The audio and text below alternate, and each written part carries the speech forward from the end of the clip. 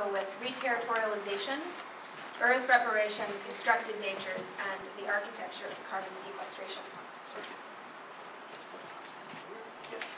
And a welcome to Filippo.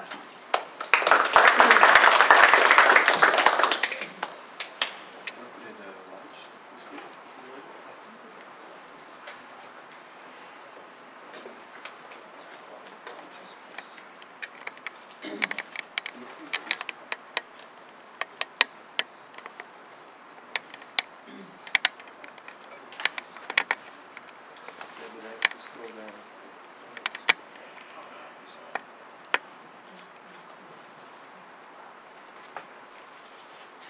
Sorry, technical problems.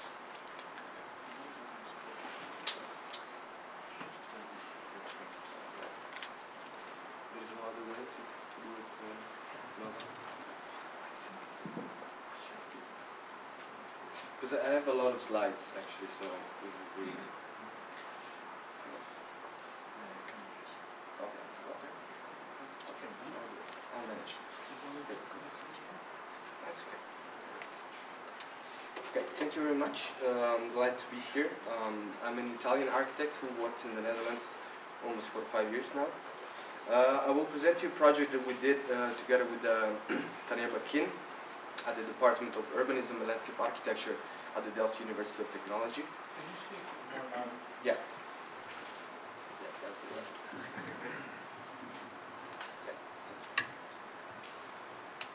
one. Um, well, the project is an attempt to um, reconceptualize the notion of infrastructure in, in that are that will be responsive to the crisis that we're facing at the moment.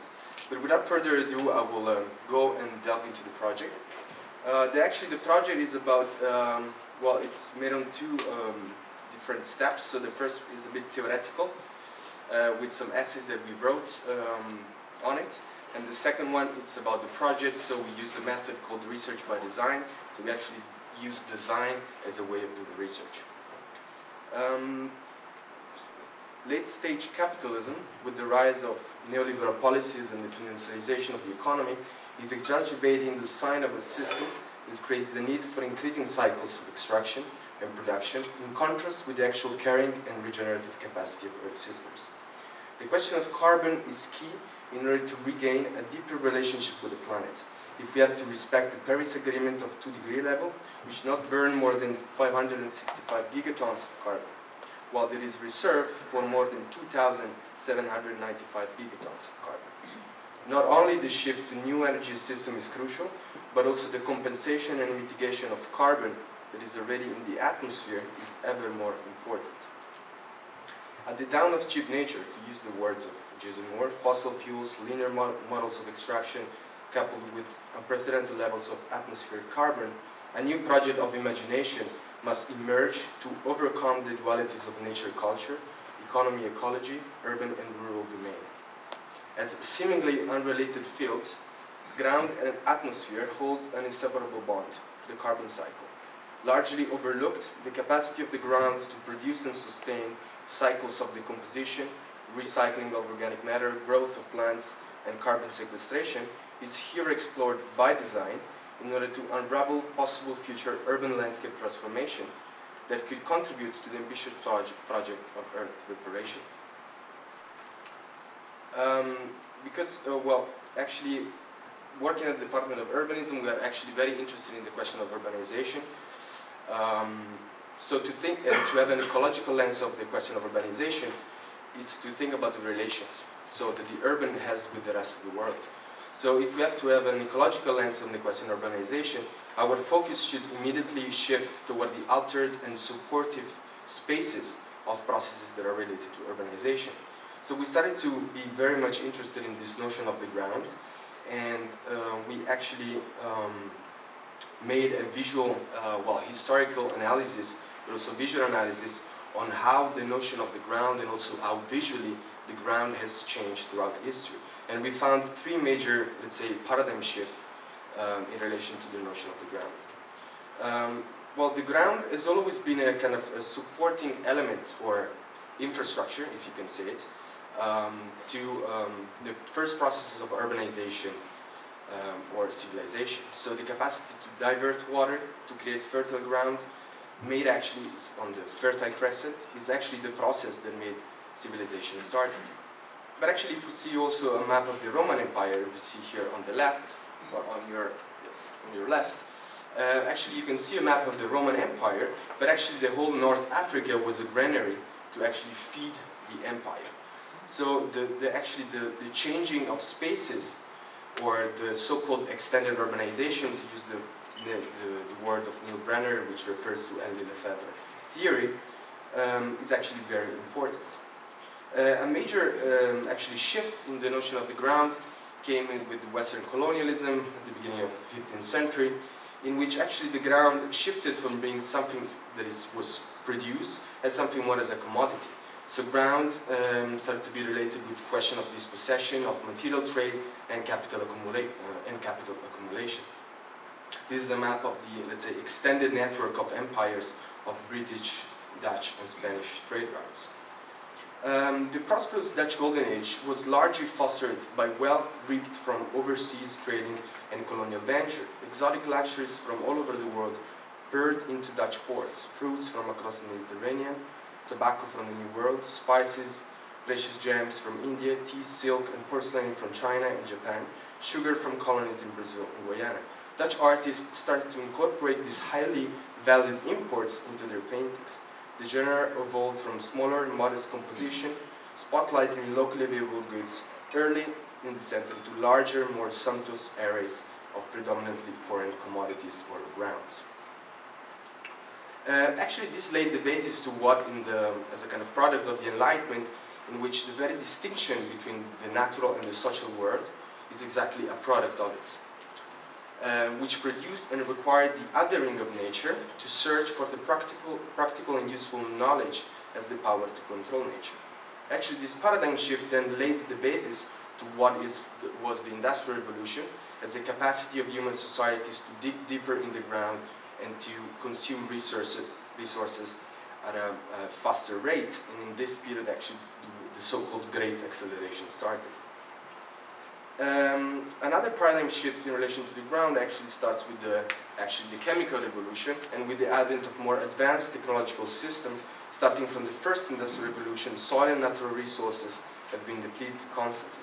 For example the hunger for industrial fertilizers nitrogen potassium came with a shift to larger productive units economies of scales and the homogenization of large patches of green areas which have lost biodiversity carbon absorption capacity and water retention mechanism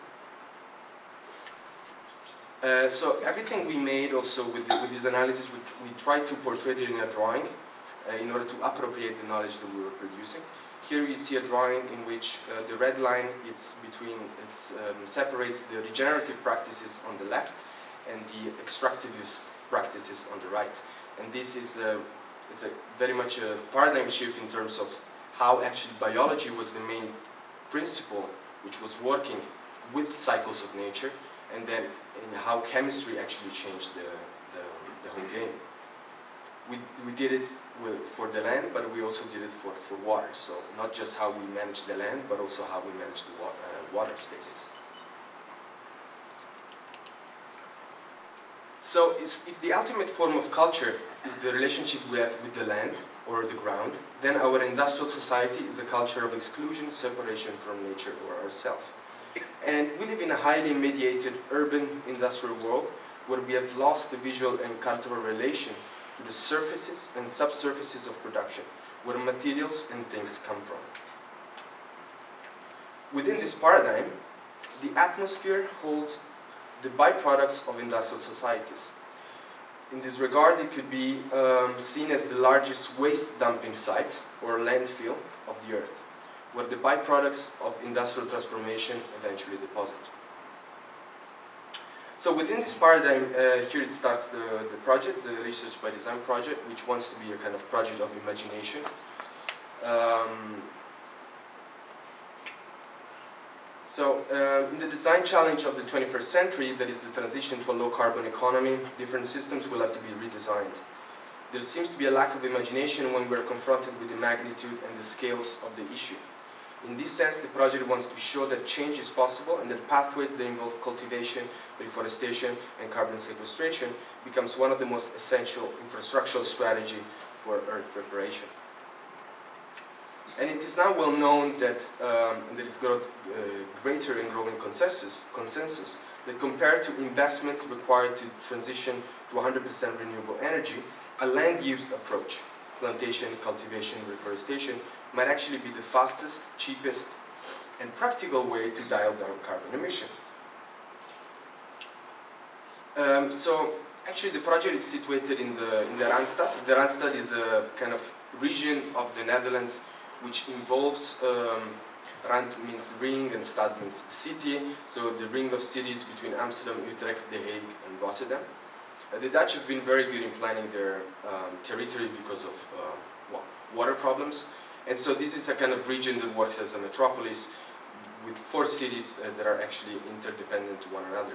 And so the circle is a diameter of 150 kilometers because I wanted, we wanted to show that the real actually scale to plan uh, in order to have an ecological approach is not the scale of the city, but it should be the scale of the region, regardless, let's say, of the administrative boundaries. This comes from the theories of Richard Forman, which was the father of ecological planning at Harvard, starting from the, from the late 80s.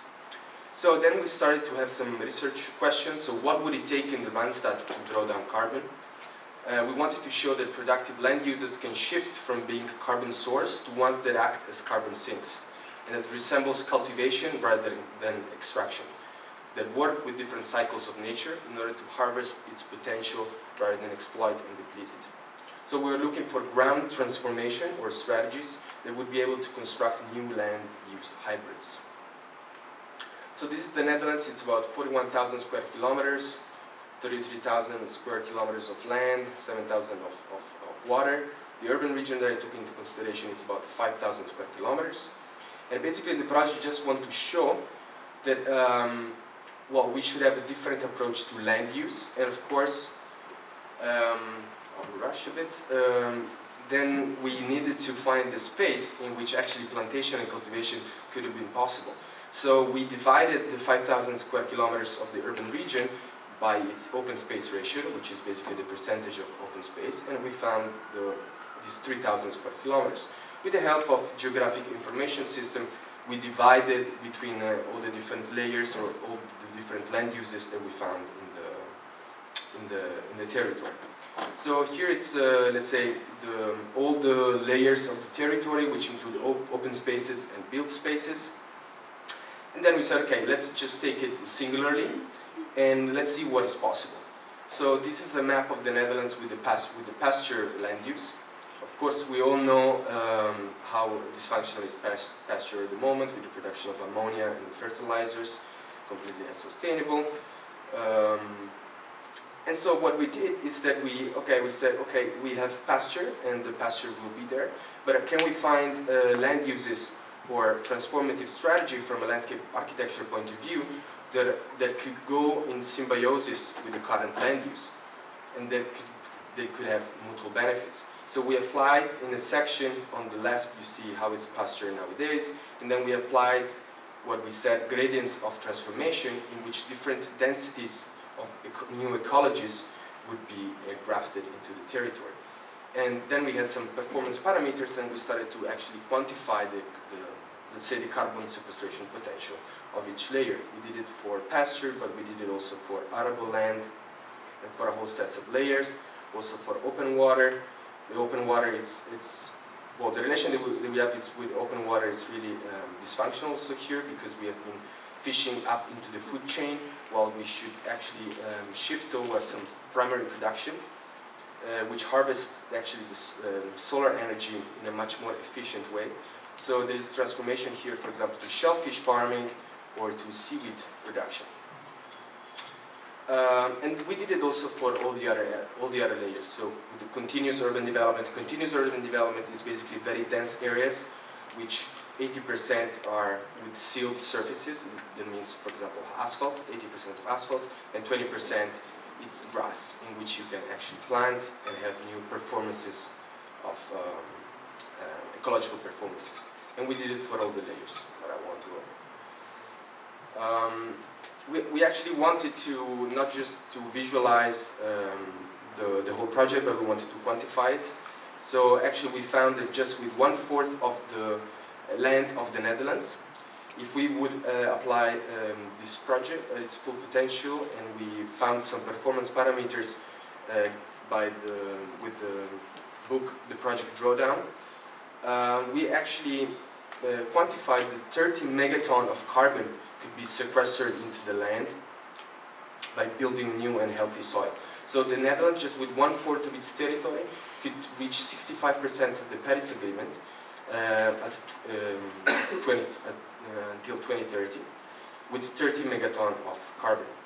And of course, it's not just the carbon sequestration, but there is a whole lot of co-benefits uh, associated with it, related to water retention mechanism and biodiversity and um, other species that would thrive in this type of environment. This is the, one of the last slides. we wanted to, um, I hope you know um, Edward Eugene Odum, which was the father of, let's say, modern ecology uh, from, from biology. Um, and we wanted to um, actually uh, quantify our model or our uh, project with this diagram on open system. So the quantification of the temporal dimension defines the amount of performance as ecologies of scales and also potential market creation as economies of, uh, in time.